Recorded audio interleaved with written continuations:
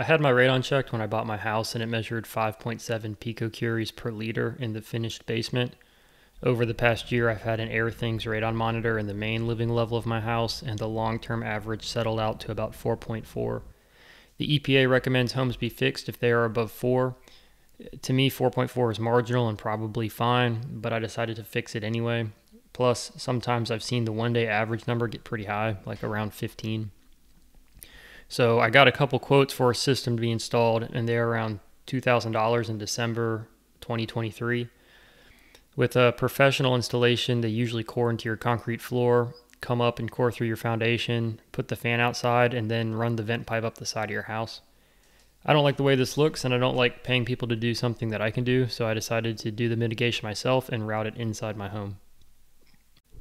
I decided to draw off my sump pit instead of coring into the slab. My sump pit is fed by a French drain which runs a quarter of the way around the house, basically symmetric around the corner furthest below grade. This is where the finished basement is. The other side of the house is at grade and is the garage. I figured venting from the sump pit would take advantage of the porous French drain and allow for radon to be drawn from a bigger area versus coring somewhere else.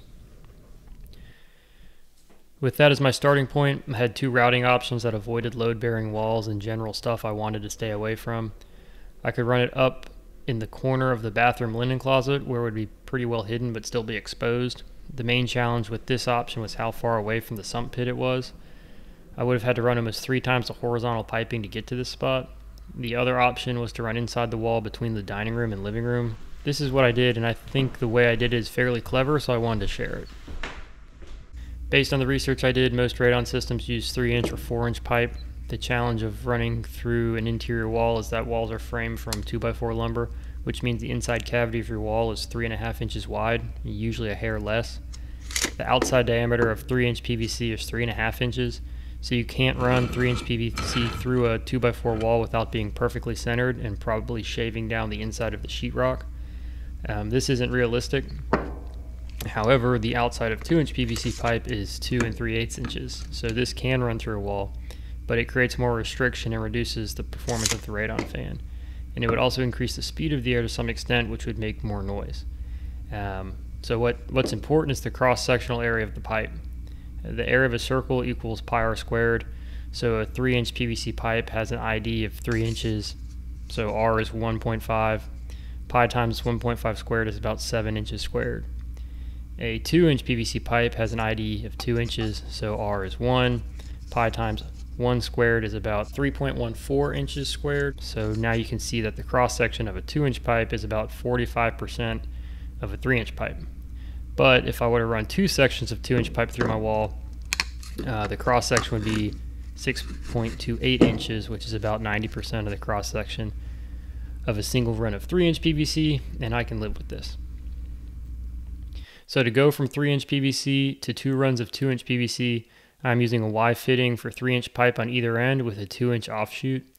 I used a 2 inch 45 degree street elbow here to make it parallel to the main line, and in the end of the Y I used a 3 inch to 2 inch reducing bushing. Uh, this will split my 3 inch line cleanly into the 2 inch lines that go through the wall. Once I'm through the wall, I will do the same thing to bring it back to a single 3 inch line, where I'll then install the fan. Besides that, I'm using various PVC elbows, pipe, and flex couplings to complete the routing. The flex coupling should make installation a little easier, allow me to angle the horizontal pieces for drainage of condensation, and make it easier to remove the sump pit cover for service as needed. The next tricky part is drilling into the wall. I know there is an outlet in the wall, and this Romex is coming down from that outlet. I also see this row of nails uh, in line with the hole for the Romex. Together, this is a pretty good indicator of the center of the wall. Um, I guess where the stud is based on the outlet and assume 16 inch centers. This means the edge of the next stud should be 14 and a half inches over. I drill quarter inch holes and use a bent piece of coat hanger to find the edge of the stud. My first hole I actually missed on the other side of the stud, and then the second hole went into the stud, and I drilled two more holes that were on the correct side, with the last one being perfectly against the stud. And then from here, I used a one and a half inch hole saw so I could get a better look and confirm that I was in the center of the wall. Once I had this, I was ready to drill the two and a half inch hole for the first piece of PVC. However, my one and a half inch inspection hole was where the center bit of the hole saw needed to go. And without the center bit being in wood, the hole saw is just going to jump around. So to handle this, I drilled a two and a half inch hole in a piece of scrap and screwed it into the floor as a guide, and this worked pretty well. Now the next challenge is that I have eight feet from the concrete to the bottom of the floor. Uh, I cut the pipes to 113 inches, which is the minimum I felt safe cutting them to make the full run in one shot. Since there isn't enough room to stand them up and slide them through the wall, they will have to go in at an angle. Uh, I did the trig to figure this out, but the short story is I cut out between my two holes with a jigsaw to create a slot and allow for installing these pipes. The first pipe should go in no problem. The second pipe doesn't fit per the math, but it was really close, so I figured it would probably flex enough to get through there. With this slot cut out, I could measure between the studs and came up with 12 and a half inches, uh, which explains why I missed my first few prospecting holes by so much because the studs right here are not on 16 inch centers. But knowing this will help me drill through the top of the wall. I took this picture through the lower hole and then assuming the studs are plumb, I made a scale and estimated that 10 inches from the center of the Romex hole was a good place to start drilling uh, through from the top.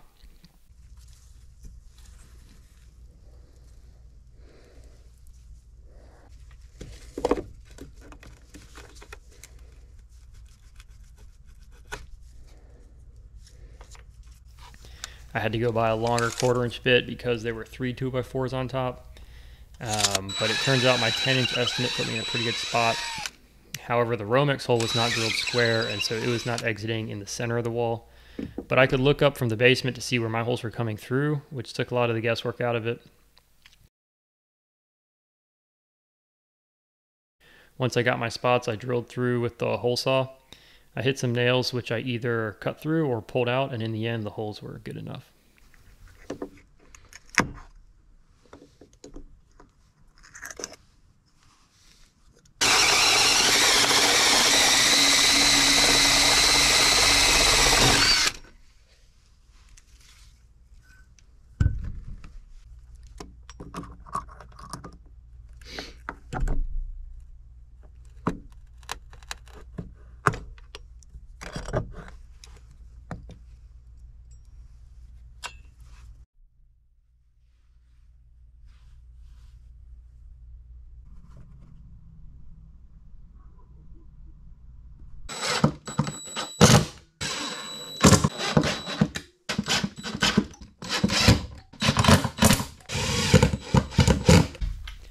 Another quick trick here is I ran some screws into the floor joist and put a scrap board up there. This way I could push the pipes through the wall and then pull over the board to create a temporary shelf to hold them there while I worked from above.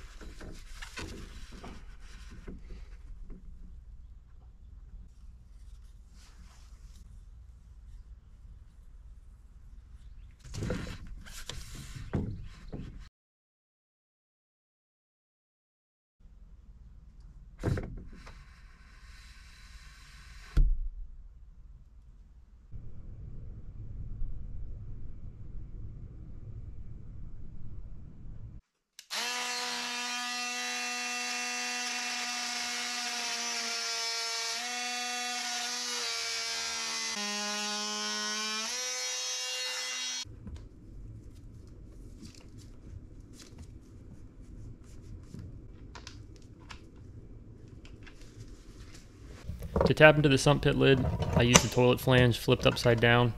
I drilled through the lid in a spot that made sense based on the rib pattern on the underside. Uh, due to the size of my hole saws, I wanted to drill from the top to be as clean as possible. So I drilled a center hole up from the bottom first, and this worked out nicely. Then I drilled mounting holes for number 10 machine screws, which I used to bolt the flange down. I used some DAP 230 to seal the flange to the lid and seal around where the wires for the sump pump and float switch went through. I didn't seal the perimeter of the lid uh, with caulk, I just used the rubber gasket that was already there.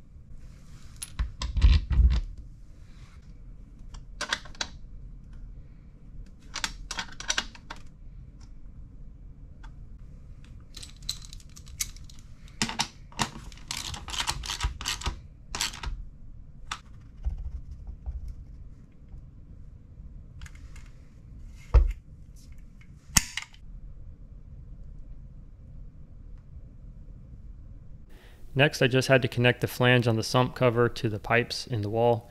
Uh, one thing I did was dry fit the angles and mark them with a Sharpie. Then I glued them out of position where it's easier to work and match the marks up to get the correct angle. Uh, make sure the marks are long because the PVC primer has acetone in it and it will remove the marker.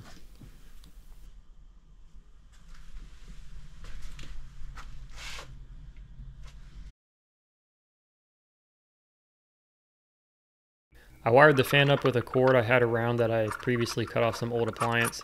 It's a three prong, but the fan doesn't have a ground, so I just wired black to black, white to white, and left the ground alone.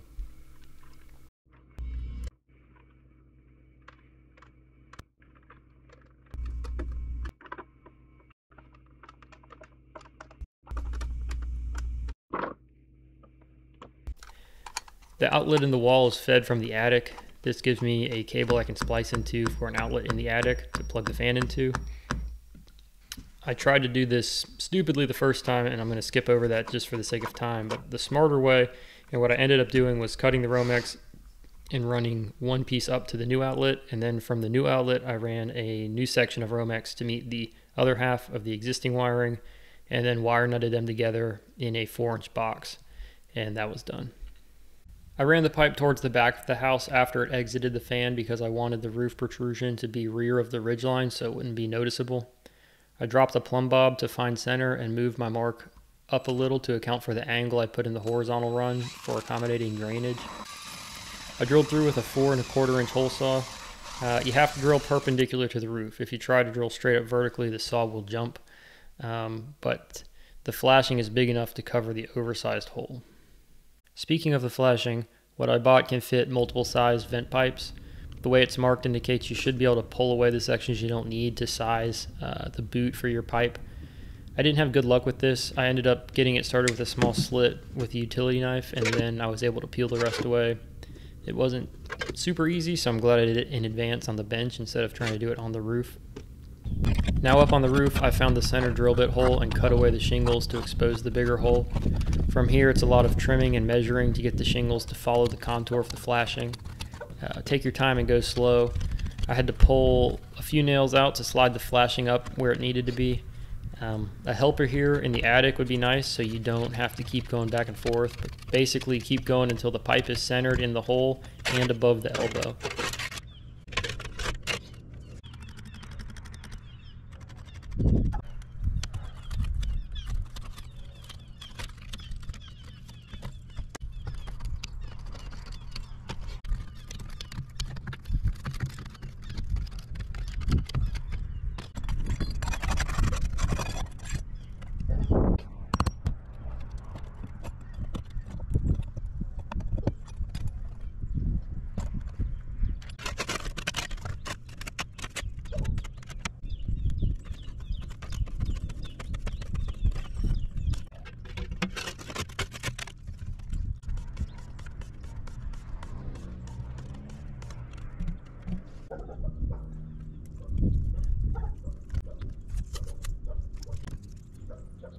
I used some blue painter's tape to mark the spot once I got it right.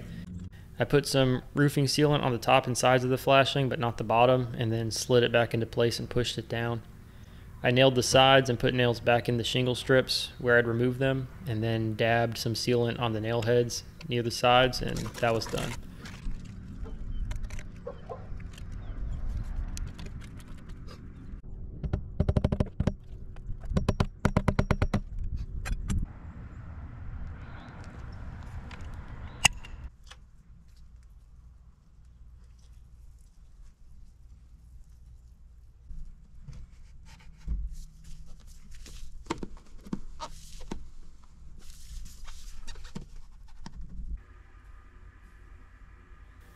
I didn't glue on the last 90 or the critter guard I put on there. I don't think it needed it.